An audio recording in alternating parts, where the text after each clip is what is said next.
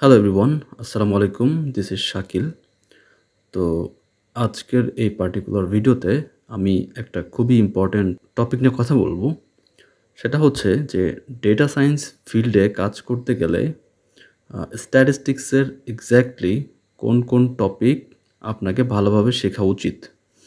কোন কোন টপিক না শিখলে আপনি ফিউচারে গিয়ে বিপদে পড়তে পারেন এবং কোন কোন টপিক আপনার সব সময় লাগবে।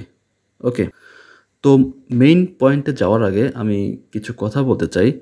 সেটা হচ্ছে সব থেকে মানে কমন একটা কোশ্চিন যে, ভাই, আমি আসলে অন্য ফিল্ডে কাজ করি, আমি কি ডেটা সায়েন্সে কাজ করতে পারব কি না বা আমি হচ্ছে নন টেক ফিল্ডে কাজ করি, বা আমি এমন কোনো ফিল্ডে কাজ করি, যার সাথে আসলে কম্পিউটার সায়েন্সের কোনো রিলেশন নাই। আমি কি আমার ক্যারিয়ার ডাটা ফিল্ডে শিফট করতে পারব কি না বা আমি জব পাবো কি না এর একটা সহজ আনসার যে অবশ্যই সম্ভব বাট সেক্ষেত্রে আপনাকে প্রুভ করতে হবে যে হ্যাঁ আপনি ডাটা ফিল্ডের যে পার্টিকুলার পজিশনের জন্য আপনি জব করতে চান, সেই পার্টিকুলার পজিশনে আপনি সুইটেবল ঠিক আছে? আপনি যদি সুইট আপনার কোনো ডিগ্রি নেই অ্যান্ড আপনি প্রুভ করতে পারছেন না যে আপনি সেই ফিল্ডের জন্য আপনি সুইটেবল তাহলে অ্যাকচুয়ালি কেউই আপনাকে জব দিবে না। এটাই আসলে আমাদের কমন সেন্স তাই না? সো আপনি যদি প্রুভ করতে পারেন যে আপনি ওই পার্টিকুলার জবের জন্য আপনি ফিট সো ডেফিনেটলি আপনি জব পাবেন বা এই ফিল্ডে আপনি আপনার ক্যারিয়ারটা বিল্ড আপ করতে পারেন। এখন আমার প্রশ্ন হইল যে ডেটা ফিল্ডে কাজ করতে গেলে বা ডেটা সায়েন্স নিয়ে যদি আমি কথা বলি, আপনার মেইন কোন কোন টপিক ভালোভাবে শেখা দরকার? বা আপনি যদি ওভারঅল বলেন, তাহলে কোন কোন টপিকে আপনার নলেজ অবশ্যই থাকা দরকার? সবার শুরুতে আপনার হয়তো মনে প্রশ্ন আসতে পারে যে, আমার খুব ভালো ম্যাথ জানতে হবে আমার খুব ভালো পরি স্ট্যাটিস্টিক্স জানতে হবে, আমার কোডিং নলেজ থাকতে হবে, আমার ডেটাবেজের স্কিল লাগবে। হ্যাঁ এটা আসলে কমন ঠিক আছে? এটা অবশ্যই কমন যে যে টপিকগুলো আমি মেনশন করছি, প্রত্যেকটা টপিক আপনার জানা থাকতে হবে। ওকে তো এর বাহিরেও কিন্তু কিছু কথা আছে। যেমন হইল যে, আপনি স্ট্যাটিস্টিক্স ব্যাকগ্রাউন্ডে পড়াশোনা করেন নাই। সাপোজ আপনি কম্পিউটার সায়েন্সে পড়াশোনা করছেন। তো কম্পিউটার সায়েন্সে পড়াশোনা করলে তো আপনি স্ট্যাটিস্টিক্স খুব ভালো জানবেন না। এটাই তো স্বাভাবিক, তাই না? আর আমাদের ইউনিভার্সিটি লেভেলে যে স্ট্যাটিস্টিক্সটা দেখানো হয়, সেটা খুব বেশি কিছু দেখানো হয় না। যা দেখানো হয় সেটা আসলে আস- হয়তোবা সাত দিন পড়াশোনা করলেও শেখা সম্ভব। ঠিক আছে? আর আপনি যদি পিওর স্ট্যাটিস্টিক্সে আপনি ব্যাচেলর করেন সেই ক্ষেত্রে আপনার বিষয়টা ভিন্ন ওকে ঠিক তেমনইভাবে স্ট্যাটিস্টিক্স ফিল্ডে যদি আপনি পড়াশোনা করেন, আপনি হয়তো কম্পিউটার সায়েন্সের খুব বেশি কিছু জানবেন না, এটাই স্বাভাবিক। ঠিক আছে? সো তার মানে কি? ডেটা সায়েন্স কাজ করতে গেলে আপনার ম্যাথমেটিক্স লাগতেছে, আপনার কম্পিউটার সায়েন্সের নলেজ লাগতেছে, আপনার স্ট্যাটিস্টিক্স লাগতেছে হ্যাঁ আপনার ডেটাবেজের নলেজ লাগতেছে, এগুলো আপনি তাহলে কি করবেন? কীভাবে শিখবেন? হ্যাঁ এই জন্যই মেইনলি আপনাকে অনলাইনের বিভিন্ন রিসোর্স ফলো করতে হয়। হ্যাঁ আপনি শিখেন নাই হয়তো ব্যাচেলরে বাট এখন শিখতে হবে। আমি এটা নিয়েই কথা বলব যে আপনি যদি নন স্ট্যাটিস্টিক্স ব্যাকগ্রাউন্ডের কোনো স্টুডেন্ট হয়ে থাকেন, তাহলে আপনি ডেটা সায়েন্স ফিল্ডে কাজ করার জন্য আপনার স্ট্যাটিস্টিক্সের কী কী টপিক জানা থাকা দরকার? যে টপিকগুলো জানা থাকলে আপনি এই ফিল্ডে স্মুথলি কাজ শুরু করতে পারবেন। আমি আজকে সেগুলো নিয়েই কথা বলব। ওকে তো তাহলে চলেন কাম টু দ্য পয়েন্ট আমরা সরাসরি চলে যাই আমাদের ওয়েবসাইটে দেখেন, আমি আবারও একটু বলে বলে নিচ্ছি আমি আজকে যে কথাগুলো বলব, আমি আলাদাভাবে কোনো স্লাইড রেডি করি নাই, যেহেতু আমার একদম এই ফিল্ডে কাজ করতে গেলে স্ট্যাটিস্টিক্সের আসলে কী কী জানতে হবে, আলাদা একটা আমাদের মডিউলে রেডি করা আছে। সো আমি সব কিছু মডিউল দিয়েই ওভারভিউ দিব। আপনারা এই টপিকগুলা আপনি যেখান থেকে মন চায়, আপনি সেখান থেকে শিখতে পারেন। জাস্ট টপিকগুলা শিখলে হয়েছে আপনি বই পড়ে শিখতে পারেন, আপনি ইউটিউবের রিসোর্স দেখে শিখতে পারেন, আপনি গুগলে ঘেটে শিখতে পারেন। অথবা আপনি চাইলে আমাদের যে পেইড কোর্স আছে ওই কোর্সেও এনরোল করে শিখতে পারেন। সেটা হচ্ছে আপ টু ইউ আমি বলব না যে আপনি আমাদের কোর্সে এনরোল করেন। আপনার যেটা ভালো মনে হয়, আপনি সেখান থেকে শিখবেন বাট এই টপিকগুলো আপনাকে অবশ্যই জানতে হবে। যদি আপনি না জানেন, তাহলে আপনি হয়তো বা ফিউচারে এই ফিল্ডে কাজ করতে গেলে বিপদে পড়তে পারেন। ঠিক আছে? তাহলে আমি যদি আমার ওয়েবসাইটে চলে আসি ওয়েবসাইটে এসে আমরা আমাদের ওয়েবসাইটে এখন পর্যন্ত নয়টা লাইভ কোর্স চলে। Python SQL data engineering data analysis machine learning deep learning AWS Django সহ। আমি যদি স্ট্যাটিস্টিক্স কোর্সের কথা চিন্তা করি, তাহলে আমি জাস্ট স্ট্যাটিস্টিক্সে যদি চলে যাই।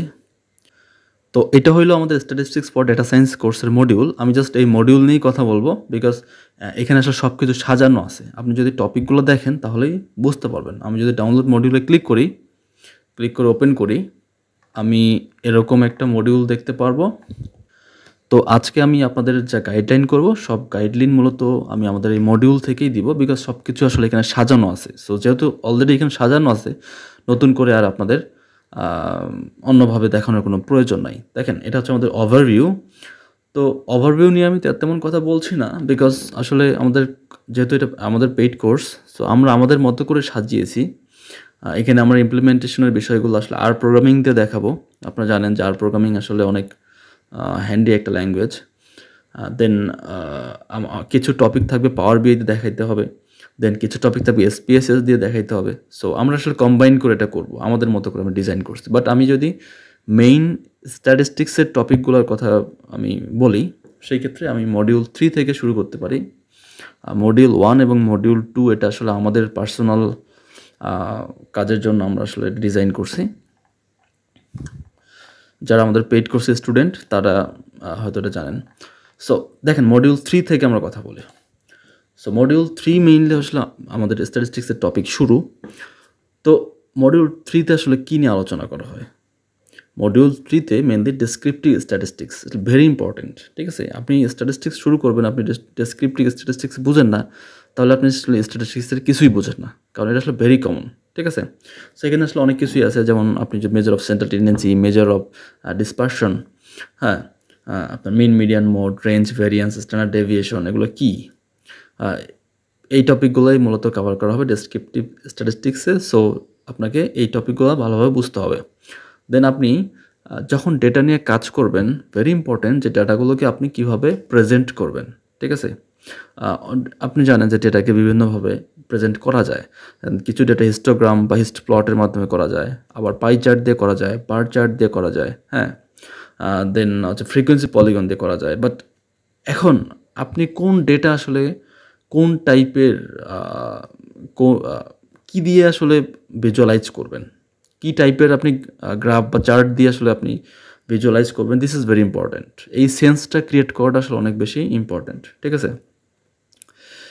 সো এখানে আপনাকে যে জিনিসগুলো ভালোভাবে বুঝতে হবে প্রেজেন্টেশন অফ ডেটা কী বা বিভিন্ন টাইপের ফ্রিকুয়েন্সি আছে, সেটা কী?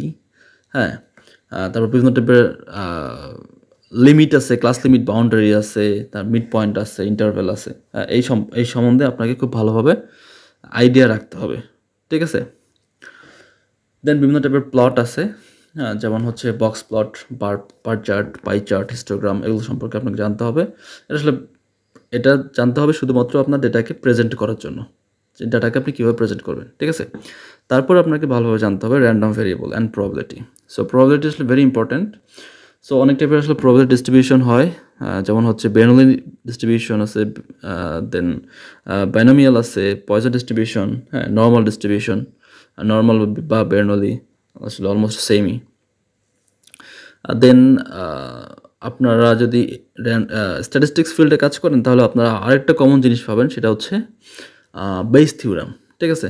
কারণ বেস থিওরামের উপর বেচ করে আপনার সাথে অনেক কিছু করা যায় হ্যাঁ? বেস থিওরামের উপর বেচ করে আসলে পরবর্তীতে অনেক কিছু করা যায়, করার সুযোগ আছে, হুম? নিউরাল নেটওয়ার্কে আপনি বেস থিওরাম অ্যাপ্লাই করতে পারেন, আপনি বেস থিওরাম দিয়ে নাই বেস মেশিন লার্নিং অ্যালগোরিদমকে ট্রেন আপ করতে পারেন। সো আসলে বেস থিওরাম দিয়ে আসলে অনেক কিছু করা যায়, আপনারা আস্তে আস্তে বুঝতে পারবেন, যখন শিখবেন। Then correlation and regression very important very important ঠিক আছে? কোরিলেশন কি? কীভাবে ক্যালকুলেট করা যায়? হুম আসলে কোরিলেশন মানে কি? এর আসলে বিহাইন্ড দ্য সিন আসলে কি বোঝায় অ্যাকচুয়ালি কোরিলেশন দেন রিগ্রেশন কি? কীভাবে আপনি রিগ্রেশনকে পারফর্ম করতে পারেন? হুম, কীভাবে ক্যালকুলেট করতে পারেন? এই জিনিসগুলো আসলে আপনাকে ভালোভাবে জানতে হবে। দেন যেহেতু স্ট্যাটিস্টিক্স ফিল্ডে কাজ করতেছেন সো অবশ্যই আপনাকে টাইম সিরিজ অ্যানালাইসিস ভালোভাবে বুঝতে হবে। তো টাইম সিরিজ অ্যানালাইসিস করার জন্য আপনাকে মেইন যে টপিকটাকে ফোকাস করতে হবে বিভিন্ন টাইপের ট্রেন্ড অ্যানালাইসিস ঠিক আছে? কীভাবে ট্রেন্ডকে অ্যানালাইসিস করা যায়? সো প্রেডিক্ট প্রেডিক্ট করা হ্যাঁ? দেন হচ্ছে অ্যানালাইসিস করা হ্যাঁ? সো এই মানে এই যে ফোরকাস্টিংয়ের যে বিষয়গুলো বা যে টেকনিকগুলো এই টেকনিকগুলো আপনাকে ভালোভাবে জানা উচিত বা জানতে হবে। কারণ আপনি যখন ডেটা ফিল্ডে কাজ করবেন, আপনি কখন কী টাইপের প্রজেক্টে কাজ করবেন you don't know so that's why আপনাকে স্ট্যাটিস্টিক্স ফিল্ডের যে নলেজ সেই নলেজটা আপনাকে ভালোভাবে গ্যাদার করতে হবে। আদারওয়াইজ আপনি এই ফিল্ডে ভালো করতে পারবেন না। ঠিক আছে? দেন স্ট্যাটিস্টিক্যাল স্যাম্পলিং যে different kind of sampling method আছে লাইক র্যান্ডম হ্যাঁ সিস্টেমেটিক স্টাডিফাইড ক্লাস্টার সো এই different kind of sampling technique সম্পর্কে আপনাকে খুব ভালোভাবে আইডিয়া নিতে হবে। ঠিক আছে? সো স্যাম্পলিং যদি না বুঝেন, তাহলে আপনি তো ডেটা স্যাম্পলিং করতে পারবেন না। সো স্যাম্পলিং আপনাকে ভালো বুঝতে হবে।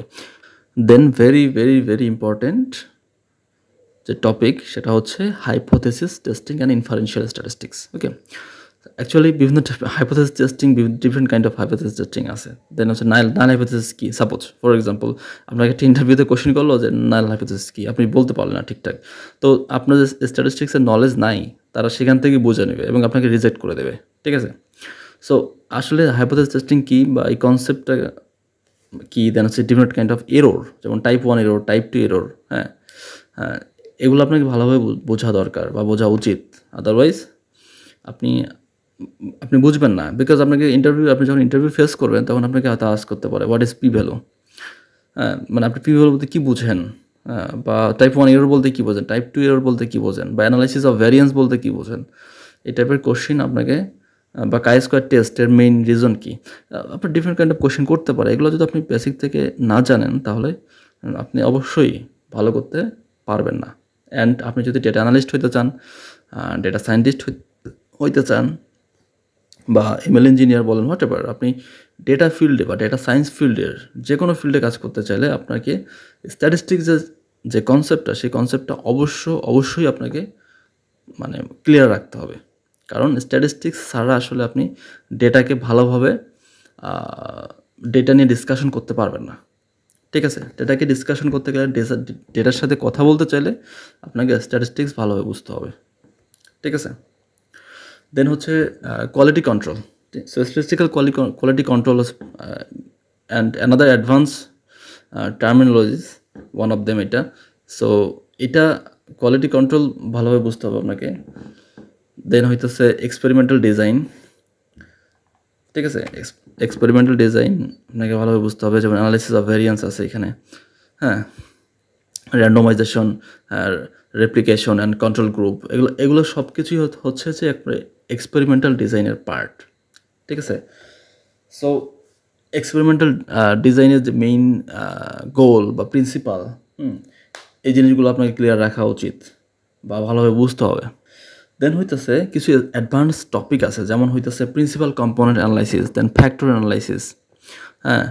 দেন হচ্ছে বেজিয়ান ইনফারেন্স হ্যাঁ? দেন হইতেছে statistical machine learning statistics apply করে কীভাবে মেশিন লার্নিং মডেলকে ট্রেন আপ করতে পারেন? বা স্ট্যাটিস্টিক্স বিহাইন্ড দ্য সিন আসলে কীভাবে কাজ করে মেশিন লার্নিংয়ের এই অ্যাডভান্স টপিকগুলো আপনাকে আইডিয়া রাখা উচিত। সো পিসিএ যদি আপনি পারফর্ম করতে চান, এক্ষেত্রে আপনাকে আরও কিছু টপিক নিয়ে আইডিয়া রাখতে হবে, যেমন আইগেন ভ্যালু কী আইগেন ভেক্টর কী হ্যাঁ তারপর হইতেছে লিনিয়ার আলজাবরের কিছু টার্মিনোলজিস অটোমেটিক্যালি আপনার জানতে হবে। যদি আপনি না জানেন, তাহলে আপনি পিসিএ বুঝবেন না। সো লিনিয়ার পিছিয়ে বুঝতে গেলে আপনাকে এই টপিকগুলো ভালোভাবে জানতে হবে। সো এগুলো হইতেছে যে ভেরি কমন ঠিক আছে? এগুলো ভেরি কমন এবং এই টপিকগুলো আমি যা যা নিয়ে কথা বললাম, এগুলো সব কিছুই আপনাকে খুব ভালোভাবে খুব ভালোভাবে হচ্ছে যে আপনার ক্লিয়ার থাকা উচিত এবং এই কনসেপ্টগুলো আপনাকে ক্লিয়ার রাখা উচিত যদি আপনি ডেটা ফিল্ডে সার্ভাইভ করতে চান। এর বাইরেও কিছু টপিক হয়তো আছে যেটা হয়তো আমরা ওইভাবে মেনশন করি নাই বাট একটা বিষয় থাকে যে very common very common and very important যে টপিকগুলো ঠিক আছে? সো এই টপিকগুলো যদি আপনার ক্লিয়ার থাকে দেন আই হোপ আমি আই বিলিভ যে আপনি পরবর্তীতে এই স্ট্যাটিস্টিক রিলেটেড যে কোনো টপিক যদি আপনার সামনে আসে, আপনি সেটা বুঝতে পারবেন বা আপনি আপনি সেটাকে অ্যাডাপ্ট করতে পারবেন, ঠিক আছে? এতটুকু অ্যাসিওর করতে পারি। সো আমি বলছি না, আপনি আমাদের কোর্স এনরোল হন এনরোল হয়ে আপনি এই কোর্সটা কমপ্লিট করেন। তবে আপনি যদি এই কোর্সের যে মডিউলগুলো আছে, এই মডিউলটা যদি আপনি আপনার নিজের মতো করে ফলো করেন, নিজের মতো করে যদি সার্চ করে করে শিখতে পারেন সেই ক্ষেত্রে অবশ্যই আপনি শিখতে পারেন, ঠিক আছে? সো এটা আসলে up to you but if you want to enrol our course then definitely welcome এটা লাইভ কোর্স আপনি এনরোল হইতে পারেন। যে টপিকগুলো মেনশন করা আছে, প্রত্যেকটা টপিক কভার করে দেওয়া, এটা আমাদের রেসপন্সিবিলিটি সো থ্যাংক ইউ আপনি যদি মনে করেন যে স্পেশাল কোনো ফিল্ড নিয়ে একটা ভিডিও তৈরি করলে আপনার জন্য হেল্প হবে, সেক্ষেত্রে আপনি সেটা মেনশন করতে পারেন, আমি ট্রাই করব। আমার ফ্রি সময় সেই টপিকের ওপর ভিডিও তৈরি করার জন্য। ভালো থাকবেন। আসসালামু আলাইকুম।